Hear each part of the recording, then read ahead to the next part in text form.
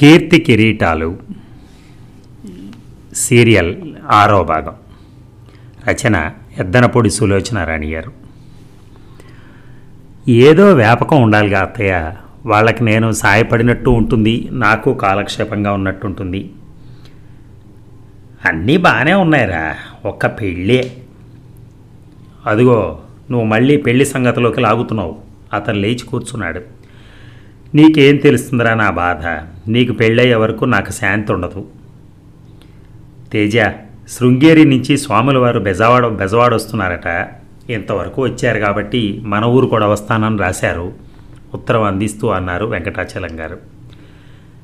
ఎప్పుడు తాతయ్య? వచ్చే నెల మొదటి వారంలోరా?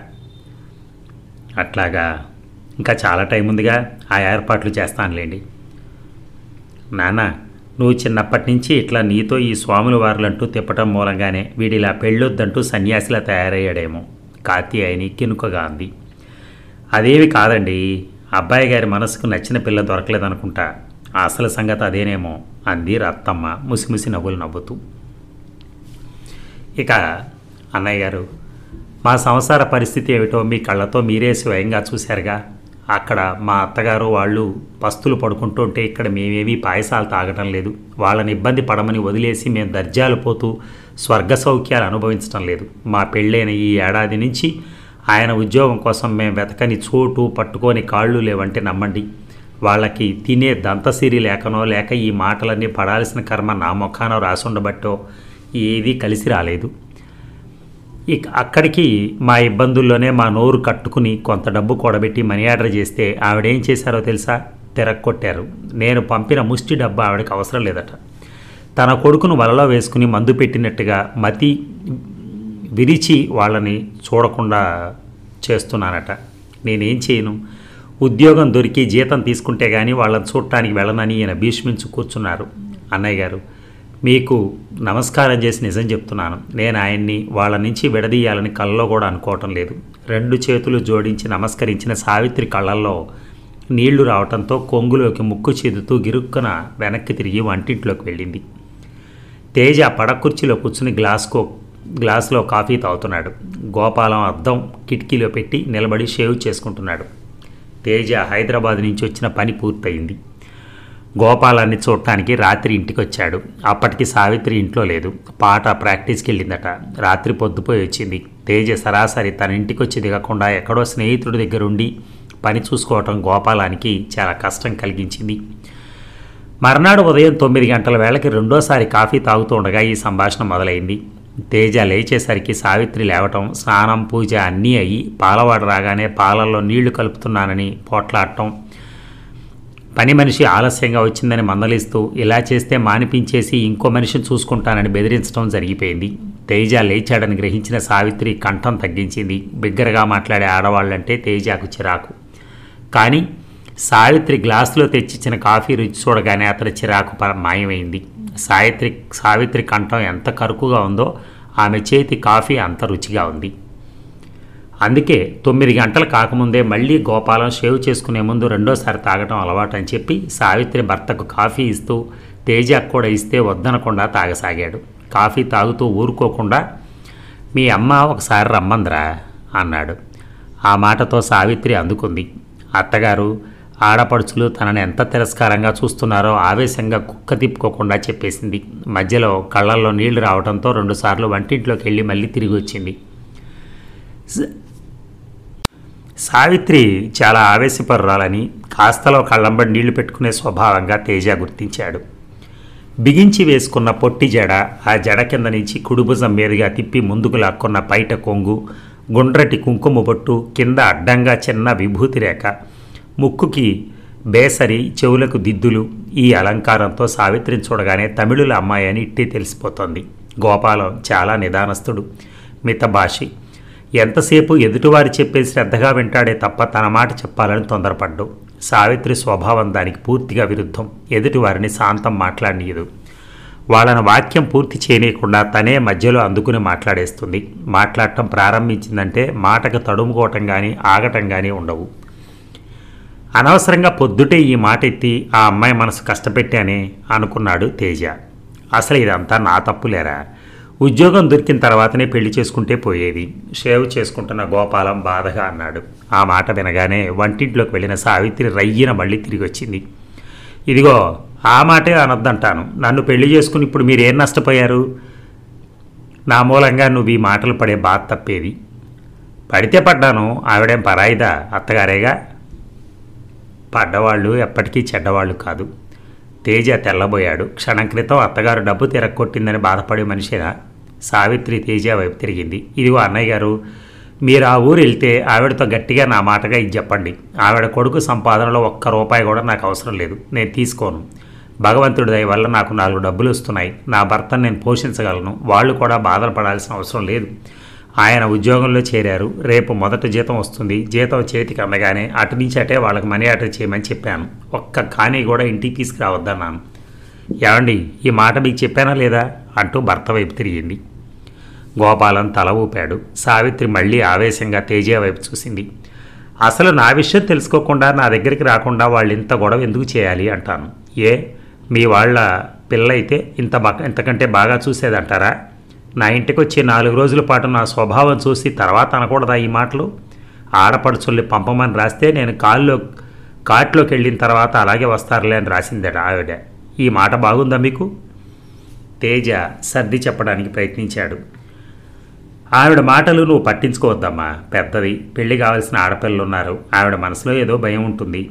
అది బైక్ చెప్పలేక ఇలా సాధిస్తూ ఉంటుంది. ఈ పెద్దవాళ్ళంతా ఇంతే.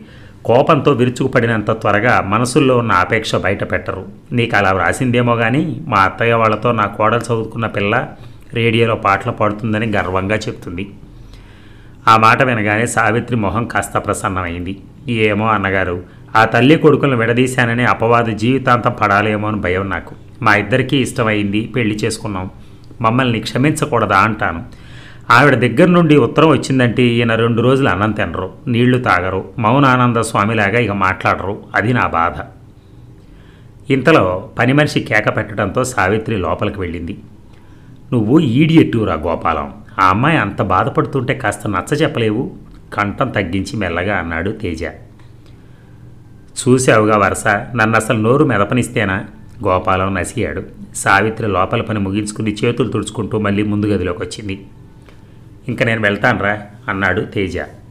ఈ ఒక్కరోజు ఉండు రేపు నాకు జీతం వస్తుంది నువ్వు రాజమండ్రి వెళ్తానంటున్నావు కదా నేను కూడా వస్తాను అన్నాడు గోపాలం.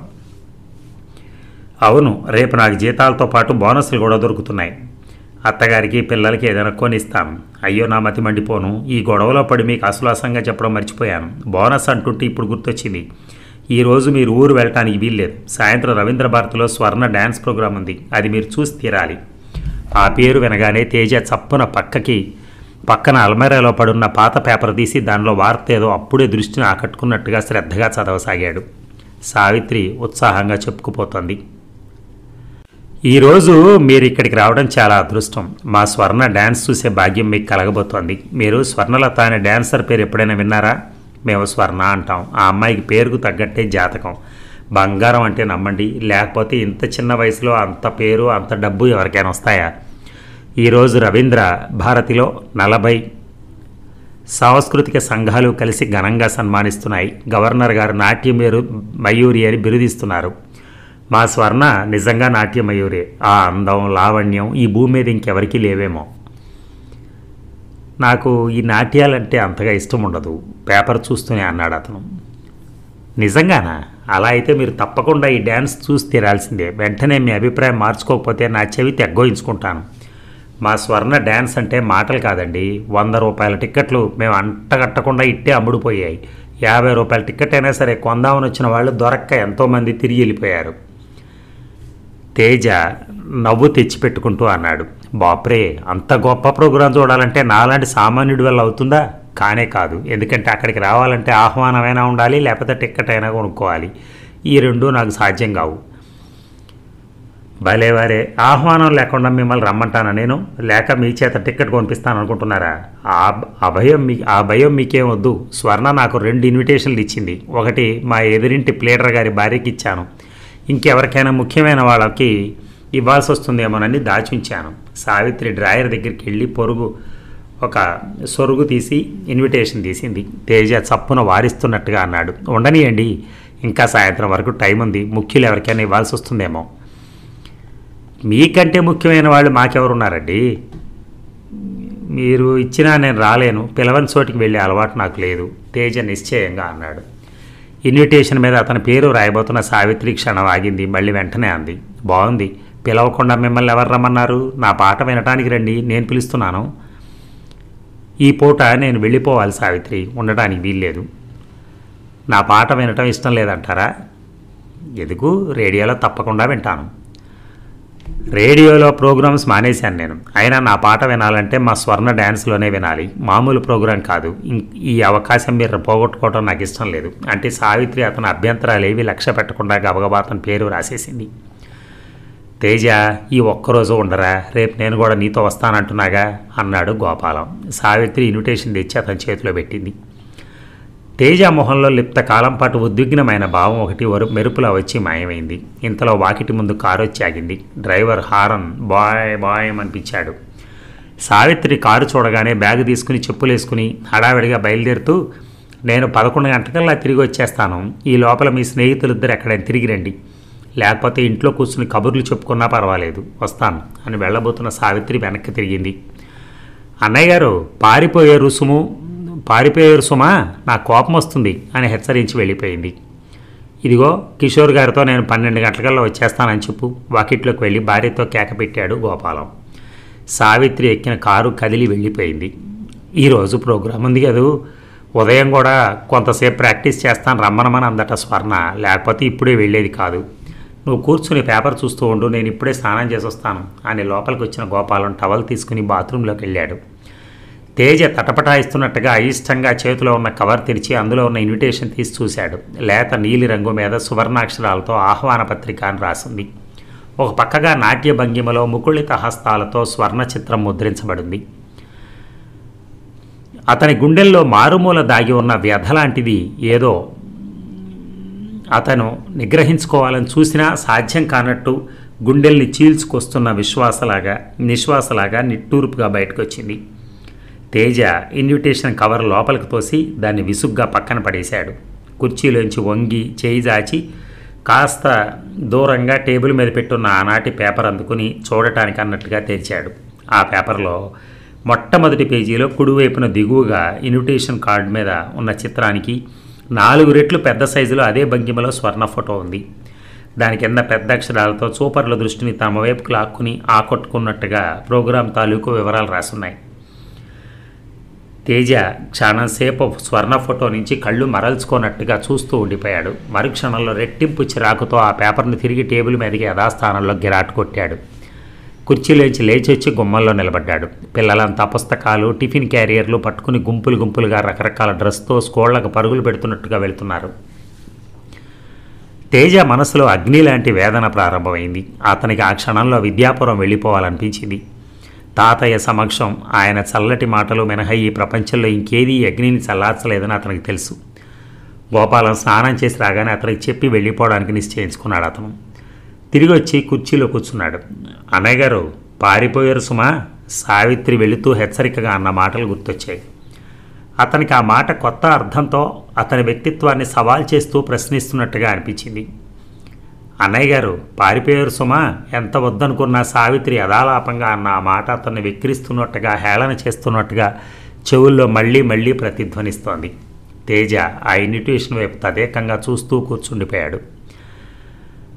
ఇక రవీంద్ర భారతి ఎన్నడూ ఎరగనంత వైభవంగా రంగురంగు దీపాలతో కళకళలాడిపోతోంది. మెలమెల్లాడుతున్న ఆ దీప తోరణాలతో పోటీ పడుతున్నట్టుగా నిగనిగలాడుతున్న ఖరీదైన రంగురంగుల కారులు ఆవరణంతా కిక్కిరిసినట్టుగా నిలబెట్టున్నాయి. ఇంకా ఆటో ట్యాక్సీలు రిబ్బున గేట్లో ఇచ్చి దూసుకుని వస్తూనే ఉన్నాయి.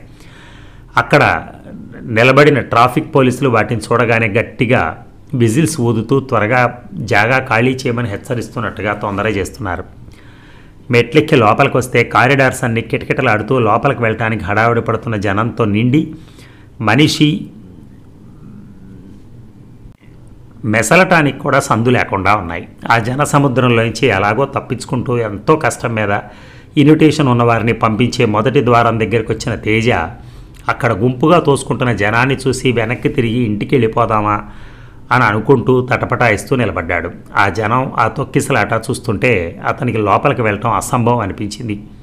ఇంతలో ఏదో పని మీద బయటకు వచ్చిన క్యాంటీన్ వైపు చూస్తూ హడావిడిగా వెళ్ళబోతున్న గోపాలం దూరంగా నిలబడున్న తేజాన్ని చూడగానే జనం మధ్యలోంచి సందు చేసుకుని గబగబా వచ్చి చటుక్కున తేజ చేయి పట్టుకున్నాడు. వచ్చావా నువ్వు? ఈ జనం చూసి ఆ గేటు దగ్గర నుంచి తిరిగిపోయామేమో అనుకుంటున్నాను. రారా అంటూ మళ్ళీ జనాన్ని తప్పించుకుంటూ తోసుకుంటూ గుమ్మం వైపు నడిచాడు.